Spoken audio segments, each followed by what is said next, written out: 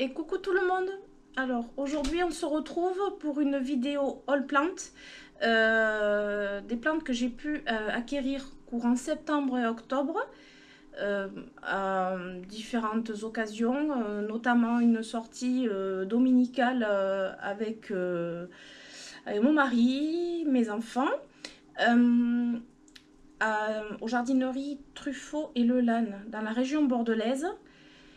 Euh, donc là, j'ai quelques petites acquisitions à cette sortie-là. Après, j'ai aussi euh, une jardinerie non loin de chez moi, euh, environ 5 km à peu près. Donc je peux y aller assez régulièrement.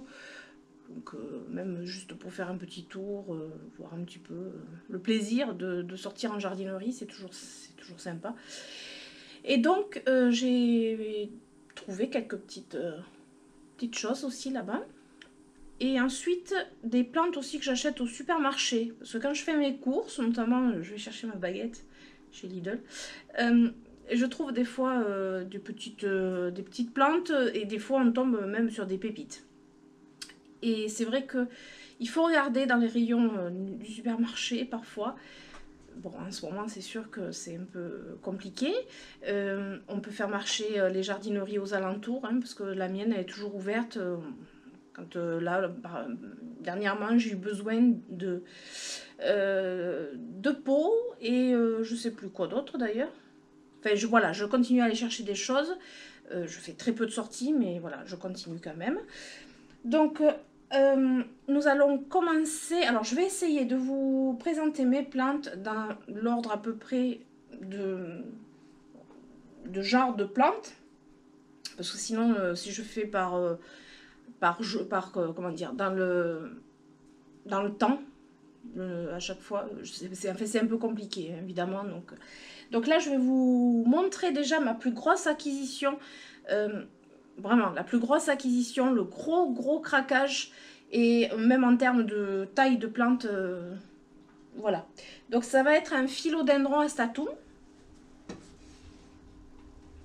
Et voilà, mon philodendron. Vous voyez, c'est pas un petit filot. J'ai vraiment craqué. Vous voyez la taille qu'il a euh, J'ai vraiment craqué sur, euh, un beau filot.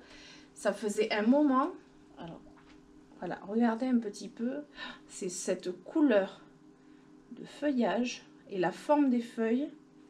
Vraiment trop, trop belle. Alors, la plupart du temps, quand on voit un filot euh, astatum, c'est des petites feuilles comme ceci. Voilà, parce que bon, euh, c'est des petits. Euh, quand elles sont juvéniles, elles sont petites comme ça, et plus la plante prend, euh, de l'âge, et voilà, elles prennent cette forme, et voilà, toujours, cette couleur argentée. C'est vraiment. magnifique avec la lumière, c'est vraiment trop trop beau. Ensuite, ben après, ce qu'il y a de bien, c'est que voilà, avec ces plantes, ces grosses plantes en plus, il y a beaucoup de feuilles qui arrivent. Voilà. Je sais pas si on peut voir ici, là. Là, j'en ai une qui est en train de sortir. Hop, voilà. Elle est en train de se déplier d'ailleurs, là. Elle est trop, trop belle. Enfin, j'en ai euh, trois ou quatre. Quatre, je crois. Et j'ai aussi, au niveau de la base, si je tombe pas au bon endroit, ouais, au niveau de la base, j'ai une petite pousse aussi là. Voilà, donc euh, ouais, j'en ai même une autre là en fait. Euh, c'est un peu compliqué les grosses plantes. Euh, hop, voilà, on peut pas voir. Si, voilà, alors peut-être que vous allez voir. Voilà, donc ça c'est le gros craquage. regardez ces racines aériennes, c'est trop joli en plus. le gros craquage du, mois, enfin de, septembre-octobre. Euh, bon plaisir. Et puis, euh, bon, après, euh, voilà, j'adore les grosses plantes. J'adore les petites plantes, mais j'adore les grosses plantes aussi. Donc, donc voilà.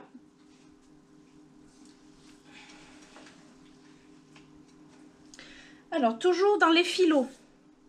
Alors là, c'est un philodendron. Attendez que je vous le tourne comme il faut. Alors, c'est un philodendron Birking. Vous voyez? La feuille la plus claire, elle est là, la feuille la plus claire. philodendron birkin. Alors c'est vrai qu'on a tendance à les voir pas mal en ce moment. Et euh, attendez, une petite pousse aussi là au milieu. Ça arrive.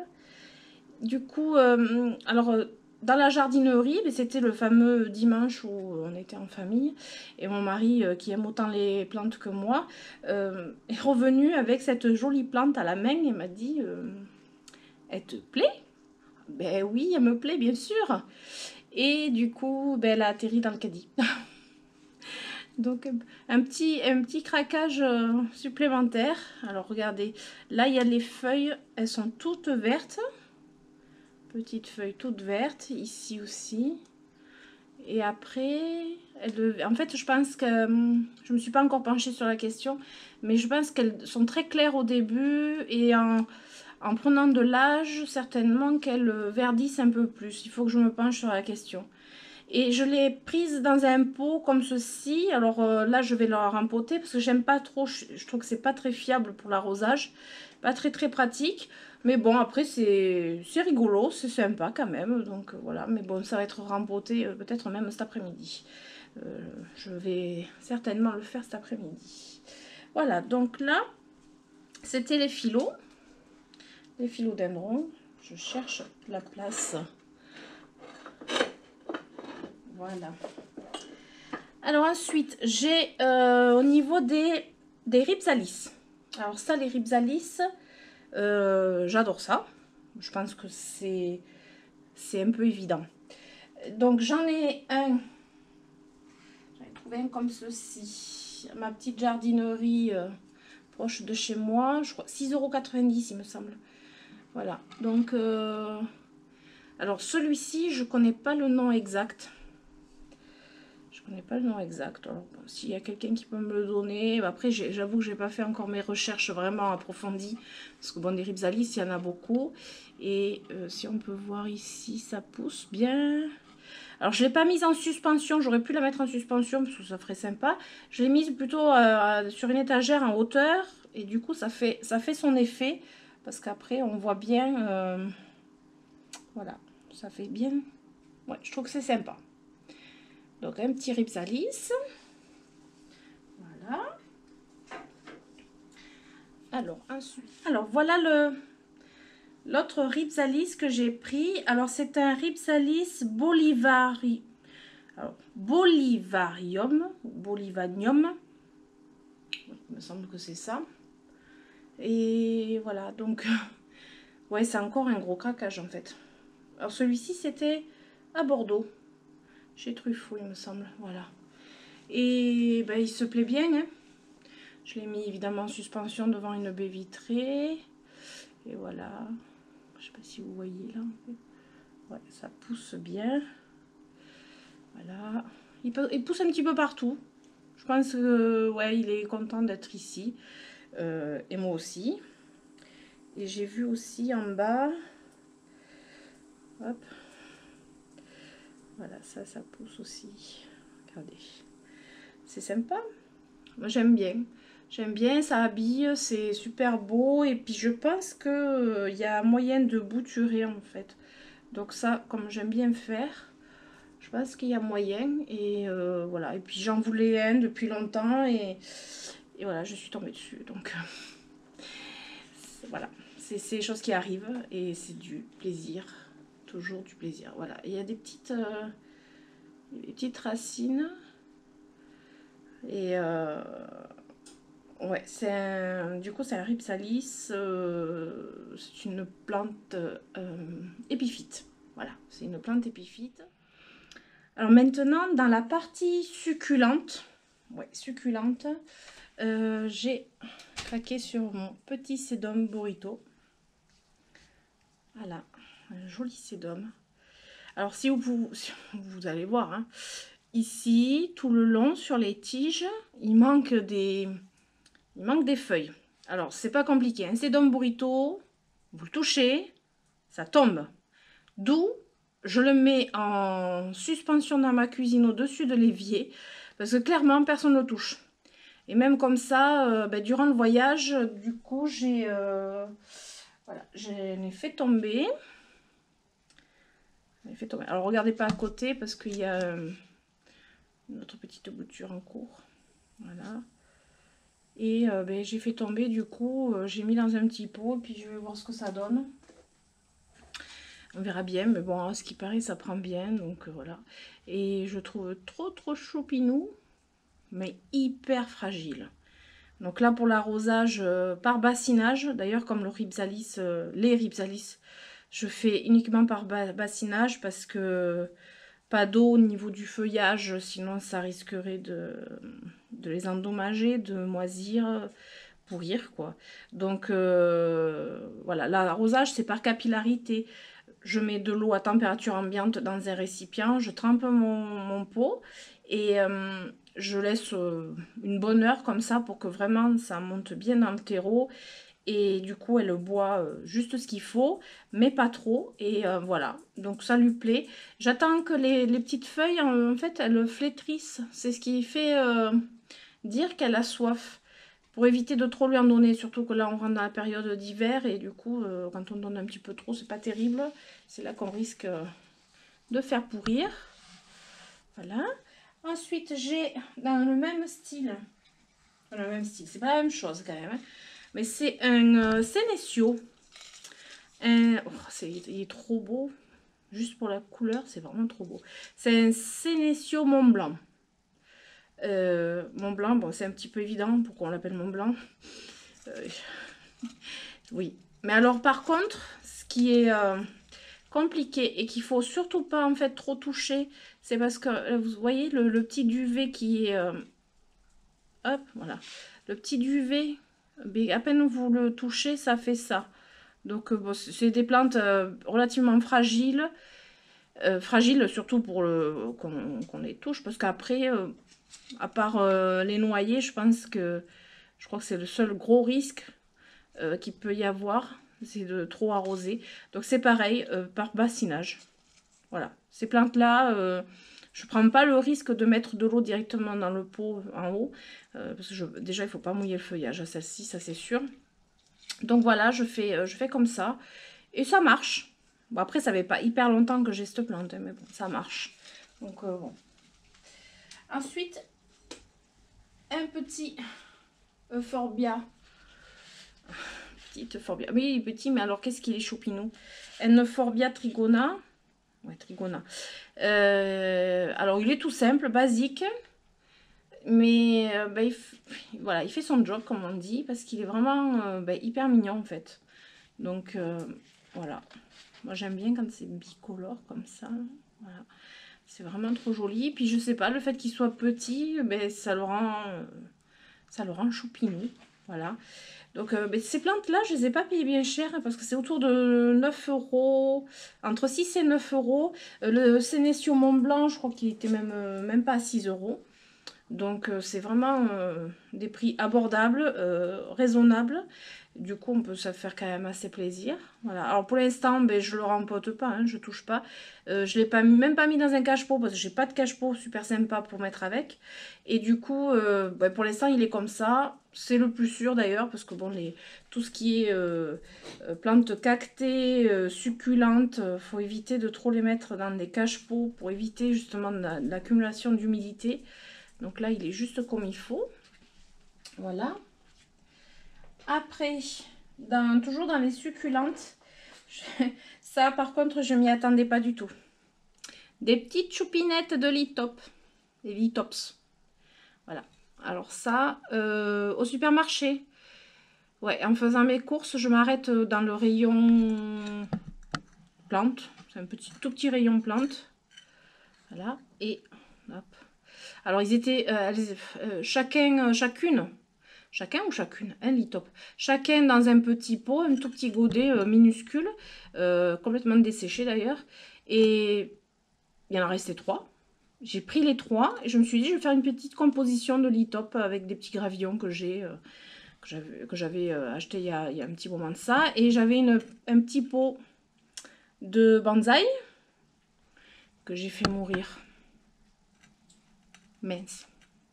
Ben ça arrive. Mais bonsaï, c'est compliqué. Enfin. Voilà. Donc, petite composition bien sympa. Puis j'adore les top Et puis, euh, on va voir ce que ça donne. Toujours pareil au niveau de l'arrosage. Alors, quand j'ai rempoté, euh, normalement, quand on rempote, on coupe les racines euh, un peu inutiles, on va dire. Il y a des racines, trop de racines, on les coupe. Euh, on les met dans un mélange, j'ai mis dans un mélange sable, sable grossier, un peu de terreau, mais pas beaucoup, gravillon. Et donc j'ai planté ça comme ça. Et après j'ai recouvert de gravillon, comme ça ça évite aussi qu'il y ait de l'humidité qui remonte sur le feuillage puis ça fait super joli. Et euh, environ 15 jours après, pour arroser, en fait, j'ai vaporisé sur les gravillons. Voilà. Comme ça, ça fait pas trop d'eau à la fois. Et il fallait attendre un petit peu pour, mettre, euh, pour commencer à mettre de l'eau. Donc, euh, c'est ce que j'ai fait. Après, c'est à suivre. on a acheté aussi avec mon fils. Et il aime bien les mini plantes. Les mini plantes, il aimerait bien que, l'on fasse un, petit terrarium. Donc, euh, je lui ai trouvé, euh, enfin on a, on a trouvé ensemble, il a choisi d'ailleurs, c'est lui qui a choisi, deux petites, euh, deux baby plantes. Alors, on a le Hippoetes, Hippoet, oui, je pense que c'est un Hippoetes. Je sais pas, la prononciation, c'est pas terrible. Hein. Donc là, j'ai mis dans des petits mugs en attendant parce que c'est tout petit pot. Hein. Je sais même pas si je vais le sortir. Alors, c'était des petites plantes à 2 euros, je crois. C'était à Lelan. Ouais, là, alors, Hippoestes.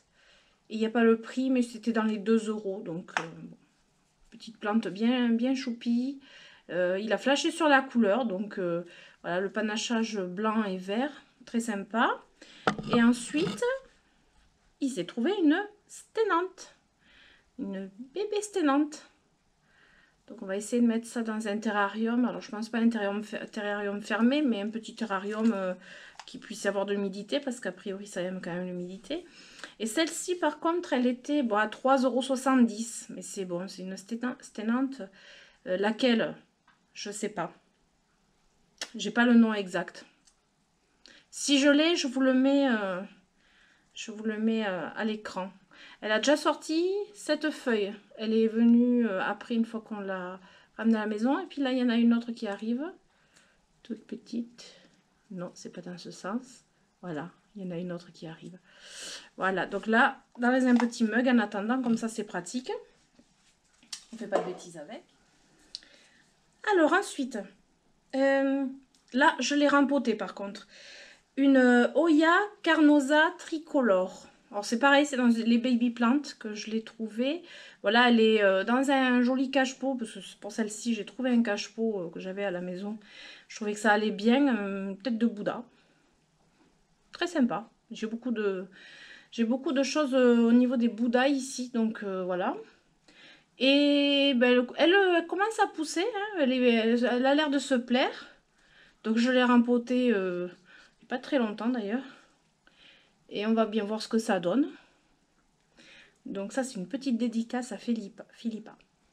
Parce que je sais qu'elle est très très Oya et euh, voilà, je crois qu'elle m'a donné euh, l'envie d'en avoir. Voilà, après on va passer à une plante que j'ai commandée sur internet. Alors bon, en général, je commande pas sur internet des plantes. Enfin, je pensais même pas que c'était possible avant, donc j'ai découvert ça euh, il n'y a pas très longtemps. Et c'est une plante que je voulais depuis très très longtemps. Euh, impossible de trouver parce que a priori dans ma, dans ma région j'ai l'impression qu'on ne trouve pas énormément de choses. Je ne sais pas pourquoi.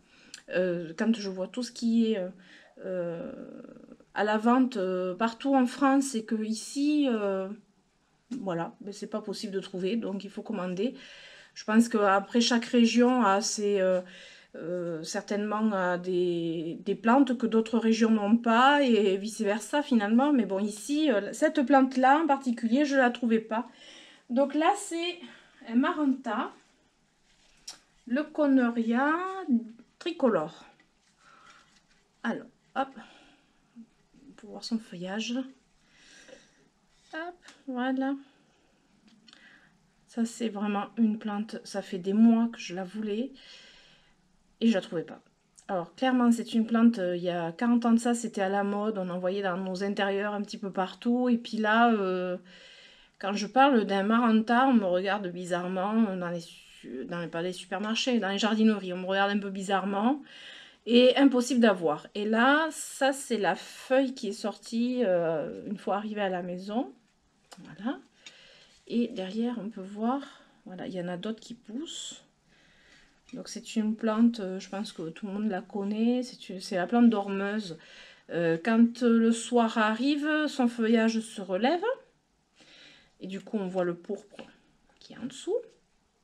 Et la journée, ben, son feuillage retombe. Quand elles sont grosses, à ce qui paraît, elles font vraiment du bruit. Parce que bon, j'ai pas entendu le bruit avec celle-ci encore, mais... Donc je suis assez curieuse de voir, de d'entendre ça. Et puis, euh, bon, le voir, j'ai vu hein, que ça... Euh, que le feuillage bouge. Et alors, cette plante, je l'ai trouvée sur le site de Bulbizarre. Et je suis très très très contente d'avoir commandé cette plante euh, sur un site. Là, c'était vraiment une première expérience et j'en suis ravie. Donc, je peux vous, vous recommander ce site. Et cette personne, vraiment, elle fait très très attention à ses envois. Euh, J'avais un petit peu de terreau euh, qui s'était retourné, mais bon, euh, j'imagine bien que dans les transports, c'est un peu compliqué. Et vraiment, l'emballage soigné. Et ouais, je suis, je suis très très contente. Et je pense que si par cas, je trouve pas une plante vraiment que je recherche absolument, peut-être bien, oui, que je recommanderais. Voilà. Mais bon, je préfère aller quand même dans les boutiques. C'est vrai que bon, j'ai un peu, j'ai un peu ce, vieux côté, on va dire, d'aller dans les boutiques. Voilà, ça c'était la dernière plante de mon haul. Et je pense euh, que je referai un haul plante euh, courant décembre. Parce que pour le mois de novembre, j'ai déjà acheté des plantes en fait. Mais je vous en dis pas plus tout de suite. Donc voilà, si vous avez aimé cette, euh, vidéo, ben, vous savez ce qu'il vous reste à faire.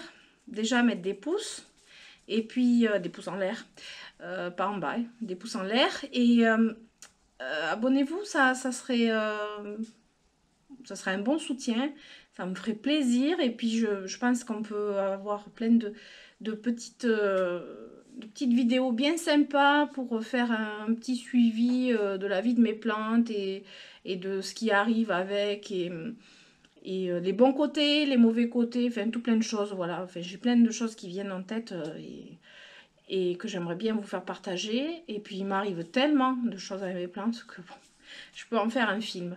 Voilà, donc euh, n'hésitez pas et vous pouvez mettre des commentaires, vous pouvez dire ce que, voilà, si, si vous avez aimé, si vous n'avez pas aimé, ou des petits conseils, ou le nom du Ripsalis aussi que j'ai pas. et puis voilà, donc je vous dis à très bientôt et euh, je vous souhaite de passer une excellente fin de journée. Au revoir